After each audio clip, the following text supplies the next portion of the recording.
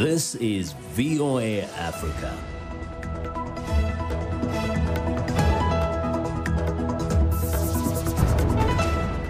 Hello, I'm Esther Githui Ewart. It's Thursday, April 30th. This is Africa 54.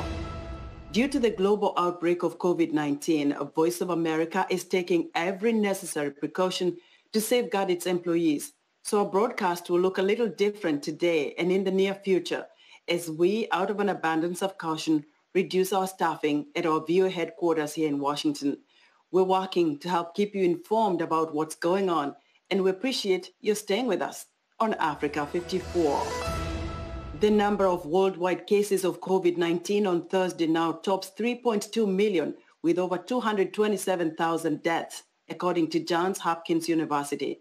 Deaths in the United States from coronavirus now exceed 60,000 and the outbreak will soon be deadlier than any flu since 1967, according to a Reuters report. The U.S. Centers for Disease Control and Prevention says in 1967, 100,000 Americans died from the flu. On average, during April, a Reuters tally shows 2,000 Americans die per day from COVID-19. Despite these grim numbers, the White House is not planning to extend federal coronavirus social distancing guidelines that expire Thursday, focusing instead on its efforts to work with states on plans to reopen the country. President Donald Trump says the federal guidelines that were first issued in mid-March are being phased out while his administration consults with governors on their plans. But many health officials continue to caution about moving too quickly towards Trump's desire to return to normal, saying that doing so risks new waves of coronavirus infections. Now to the continent where South Africa confirmed an additional 354 COVID-19 infections on Wednesday its most new reported cases in one day, a 73% increase from Tuesday, according to the health department. The nation's coronavirus cases now totals over 5,300. Meanwhile, Guinea-Bissau's health ministry says Prime Minister Nuno Gomes Nabiam has tested positive for coronavirus along with three members of his cabinet. The West African nation has confirmed more than 70 cases and one death. Tunisia says it is set to ease its COVID-19 lockdown next week, reopening parts of the food and construction sectors while welcoming 50% of government workers back on the job. The use of militaries to enforce coronavirus quarantines is causing anxiety among some African citizens. VOA Salem Solomon takes a look at the risks and the benefits of deploying security forces during a pandemic.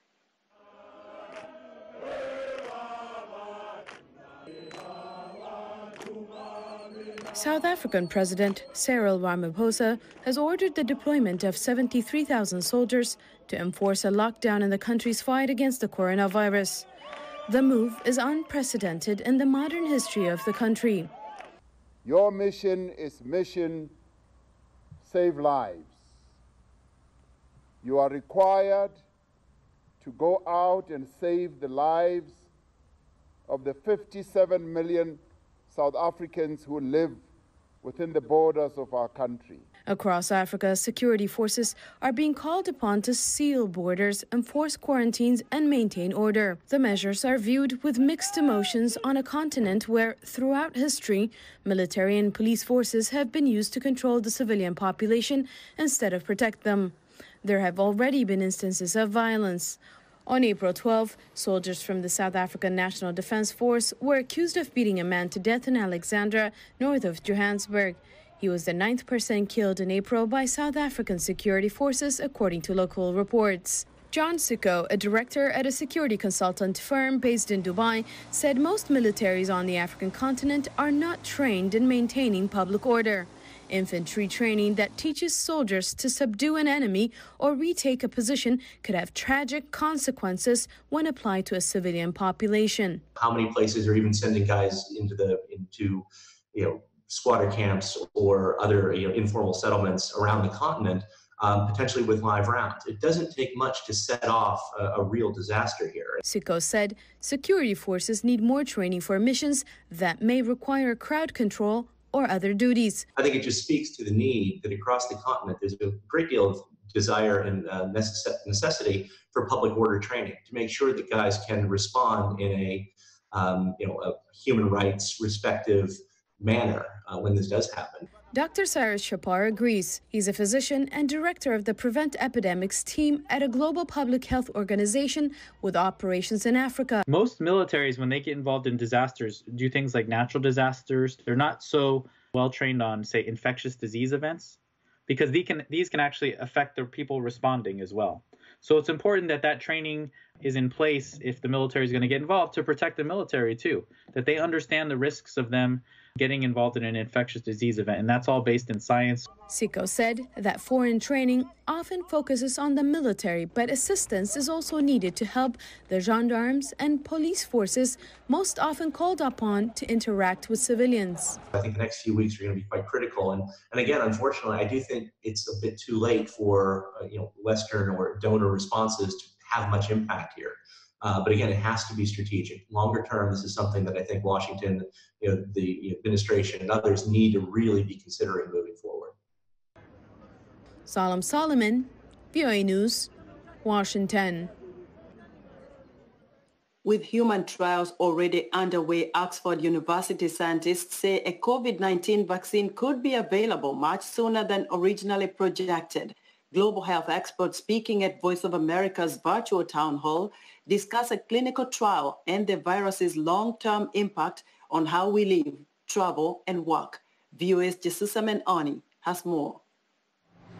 With hundreds of clinical trials underway in the global race to fight COVID-19, international health experts speaking at a VOA virtual town hall say they are feeling hopeful.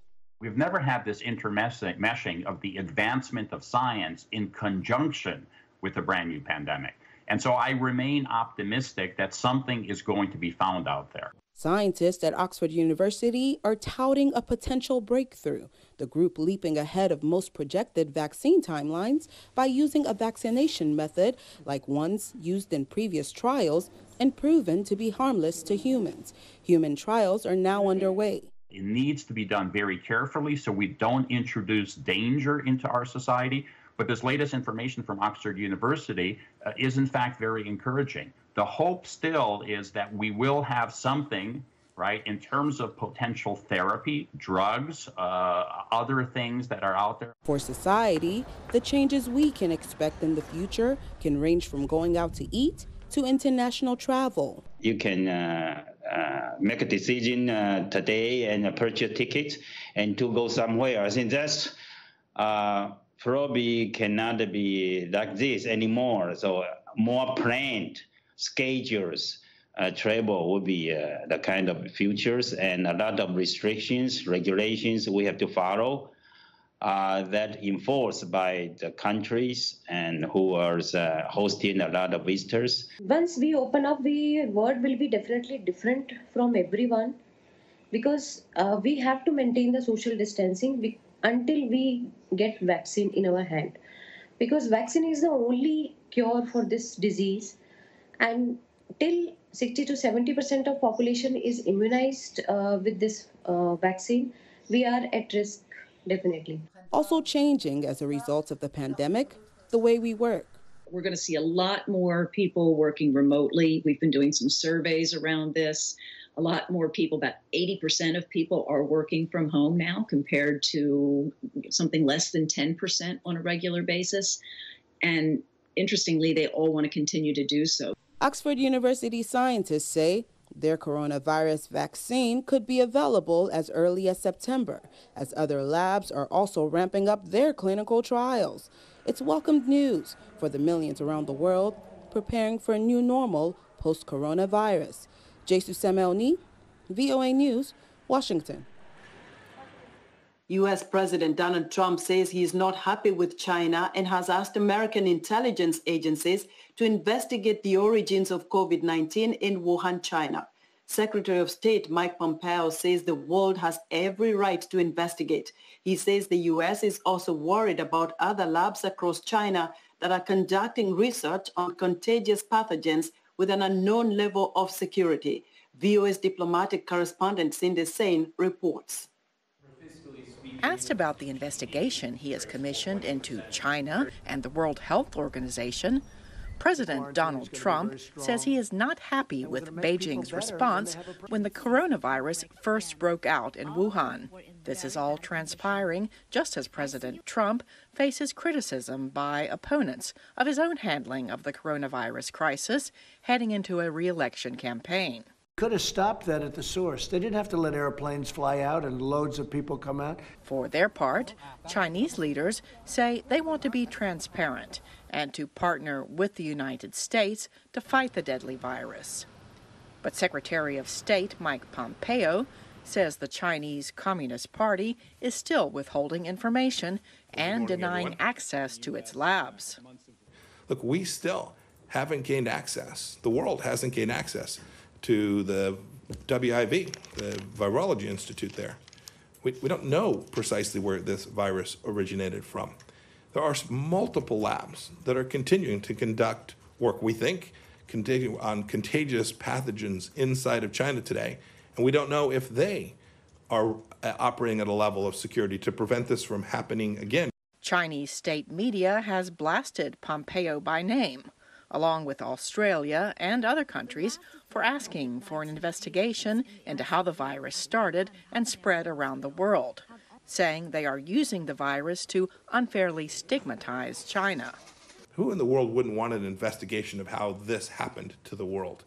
Asked about demands from some that China pay a price for the tens of thousands of coronavirus deaths and the global economic impact, Pompeo said there will be ample time to figure that out later.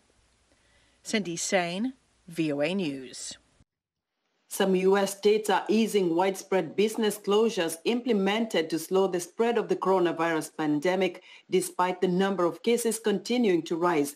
Over 55,000 people have died in America from the highly contagious respiratory illness, and more than 1 million have been infected. VOA's Brian Padden reports that state governors are trying to balance the public health threat with the severe economic cost of the shutdown that has led to over 26 million Americans losing their jobs in the last month.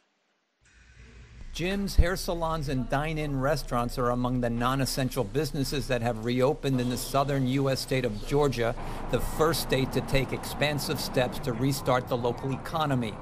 Yet these businesses are required to maintain social distance guidelines, sanitize the premises, and screen employees for coronavirus symptoms such as fever. We are checking temperatures, we're making sure that clients fill out a questionnaire before we perform um, any type of services on them, making sure that the hands are washed. But Georgia's coronavirus infection rate is still rising, and public health experts warn that trying to ease the economic pain caused by the shutdown too early risks a more severe outbreak of the deadly virus. We are, as we open up the economy, potentially exposing immunologically naive people, meaning no antibody, no history of the virus, to the virus, and ultimately may lead into a circumstance where we will lose lives.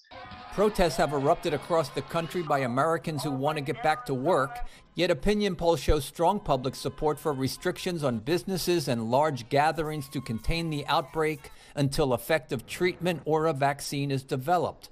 President Donald Trump has left it to the states to decide when to restart economic activities. On Monday, he announced new guidelines to help businesses safely reopen and to increase testing capacity nationwide. Ensuring the health of our economy is vital to ensuring the health of our nation. These goals work in tandem, they work side by side. Some other states are also allowing certain businesses to reopen as widespread job losses and gaps in government unemployment assistance leave many without enough money to pay for food and rent. But it may be a slow process, say experts. We might have to do this gradually to see whether we can handle it or whether we suddenly get a new surge in cases of COVID.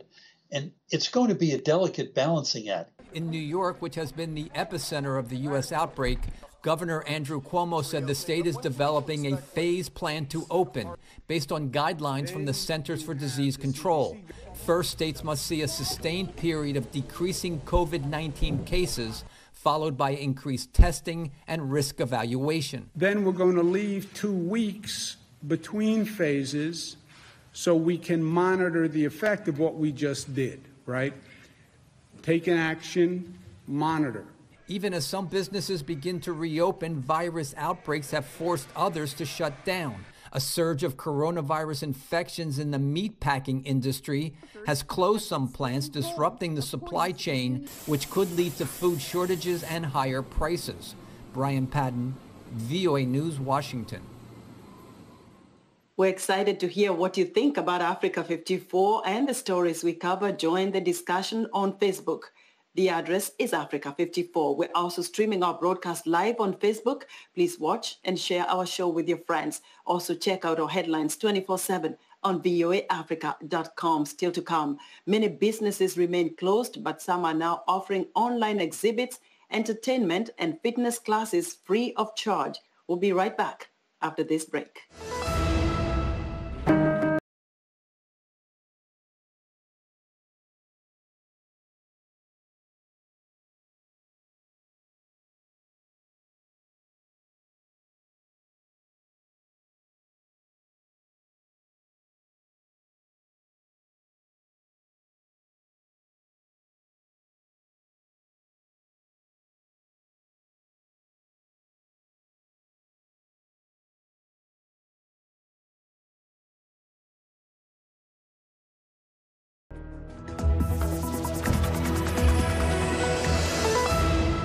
Welcome back to Africa 54. Friday is May 1st, the International Workers' Day, which is normally marked by demonstrations in cities around the world calling for better working conditions.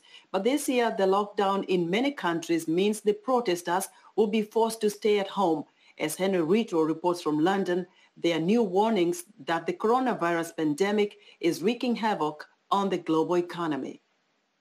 Hundreds lined up to receive emergency government aid in Brazil's Rio de Janeiro this week as the economic crisis destroys businesses and jobs. We don't even fear the coronavirus. That kills. Hunger is very cruel. The UN's International Labour Organization warns that half of all workers worldwide amounting to 1.5 billion people, are in danger of having their livelihoods destroyed by the coronavirus pandemic. That stark prediction comes on the eve of International Workers' Day, May 1st. Sharon Burrow, General Secretary of the International Trade Union Confederation, says this year we should be thankful for the workers who are putting their lives on the line. Those courageous workers in health, who uh, go to work every day along with others in care settings and risk their health and safety and that of their families to save lives. But there are others who make themselves available in, uh, in services, in transport, in our supermarkets. Burrow says many of those key workers feel insecure in their jobs. This uh, virus has exposed the, the fragility of our world when you consider that 60% of the global workforce work informally, no rights, no minimum wages, no social protection, no rule of law to deal with grievance, that's simply an economic risk as well as a social devastation that has to be undone. May Day is usually marked by anti capitalist protests. This year, with hundreds of countries in lockdown, demonstrations will likely be absent. Burrow says the focus should be on the world that will emerge after the pandemic. We must rebuild a more equal world that uh, guarantees democratic rights and freedoms, that allows for more equal development. Before that can happen, millions of people face a struggle to get through the coming economic crisis. Henry Ridgwell for VOA News, London. Optimism over a promising treatment for the coronavirus sent Asian markets surging Thursday. Japan's Nikkei index gained 422 points or 2.4% to close out the trading day at over 20,000. Australia's S&P was up 2.4% in late trading, while Shanghai's index had gained 1.3%. The indexes in Hong Kong and Seoul were closed for public holidays. The strong gains in Asia are a spillover from Wednesday's gains on Wall Street, sparked by news that coronavirus patients who were given an experimental drug called remdesivir in a federal trial recovered rapidly from the disease. The results were praised by Dr. Anthony Fauci, the director of the U.S. National Institute of Allergy and Infectious Diseases, as very optimistic. More good news came from Britain, where researchers at Oxford University say a vaccine for coronavirus currently being tested on people could be widely available as early as September. Oil markets continued to recover with the price of West Texas Intermediate crude, the U.S. benchmark, trading over $16 per barrel, a gain of 10.6%, while the international benchmark Brent crude was trading at nearly 6.2%. Billions of dollars worth of food is going to waste in Florida as local farmers let fruits and vegetables rot, unable to deliver them to restaurants that don't need as much as before the COVID-19 pandemic. Lilia Anisimova has the story narrated by Anna Rice. Best known for thousands of kilometers of beautiful beaches, the state of Florida, thanks to its climate and soil, grows some of the best fruit and vegetables in the U.S more than 47,000 commercial farms that grow everything from citruses to beans and berries are in this state. Florida's great climate and soil is what made Italian-American family DiMare move here from Boston in 1930s. As teenagers, brothers Dominic, Joseph, and Tony used to sell fruit off a truck, but their business got successful and they opened a store, then another one. In 1945, they were able to buy their first commercial farm. I'm a grandson um, of one of the founders. My grandfather, uh, who I'm named after, Anthony, and his two brothers started the company, a 91 year old com- company. Uh, myself, my brothers, and cousins are third generation in the family business. Uh, my father and his cousin, the two respective presidents uh, for the Florida and California operations, are still very actively involved. I think we still have uh, about uh, 10 uh, family members involved in, in the family business. Today, the DiMare farms grow fruits and vegetables in several states California, Texas, Arizona, Pennsylvania, and Massachusetts. The first ones to feel the effect of the coronavirus pandemic on the business were the Florida tomato farms. And unfortunately, because of the timing of the pandemic, and with restaurants and the food service sector shutting down, 80% of our business is, is typically to the food service sector, uh, the school systems, restaurants, uh, cruise ship industry, uh, the theme parks. Uh, so when the pandemic uh, started and those sectors closed down, um, we were kind of dead in the water, so to speak. There are thousands of farms like DiMare's in Florida. They deal with the situation the best they can. Some give food away for the poor or those who lost their jobs. Others sell it for the fraction of the usual price. The US government has allocated $349 billion to support small businesses and keep the workers' salaries, and $9.5 more billion to help cattle and agricultural farms that suffer as a result of the pandemic. With no definitive end of the lockdown in sight, Florida farmers hope the virus will weaken in the summer months. On top of the seasonal changes, social distancing could help bring the reproduction number below one. Uh, so synergistically, yes, but not but not seasonal changes alone. And I think that's consistent with what we've seen from other uh, parts of the world where they are having ongoing transmission. Um, and uh, despite either being in the southern hemisphere, like Australia, or um, uh, and and southern Africa, that are outside the tropics, or being in the tropics and having in some in many ways summer-like weather. But no one can say that for certain, and that's putting businesses like the DiMares at risk of disappearing. For Lilia Anisimova in Miami, Florida, Rice, VOA News.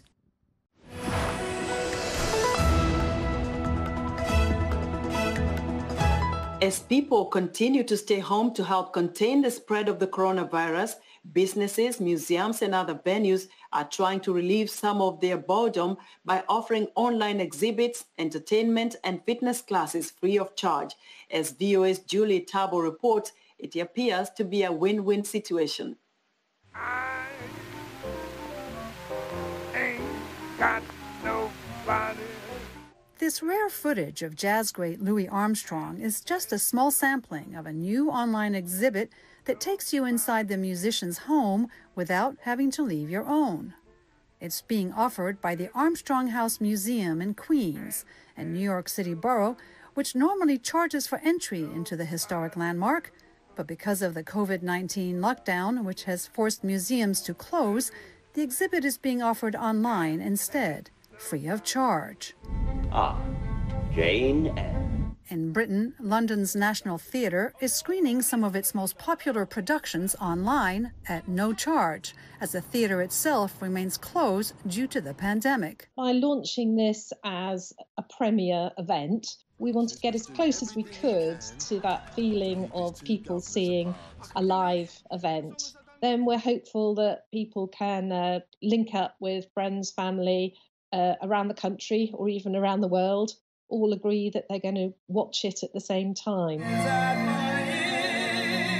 Music fans can also enjoy popular shows online. British composer Andrew Lloyd Webber is streaming full length performances of his musicals on a dedicated YouTube channel.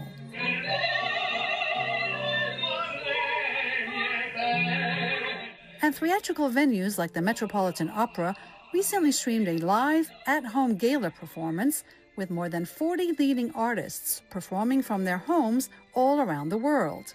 Front knee is over the front ankle, similar to lunge pose. Fitness companies are also reaching people in non traditional ways.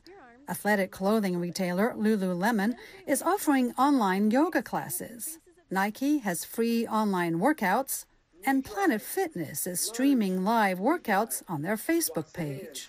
We got 15 seconds left. Drive. Businesses are doing this for one simple reason, says clinical professor James Schrager. Promotion. When the whole economy slows down, let's take a museum, and no one is coming, it's a fabulous chance for you to get the word out there. And these clever businesses are realizing at no cost to me, if I can get them to my site, I'm delighted to let them try what I have for sale later on. Hopefully, once this is all over, people will be going back into their theatres uh, and cinemas to get more of it. I think right now that's what everybody needs the chance to have a laugh, be entertained, and hopefully provoke some real conversation. To date, hundreds of thousands of people around the world have accessed these diversions as they wait out the pandemic. As you're ready, arms come up. Julie Taboh, VOA News.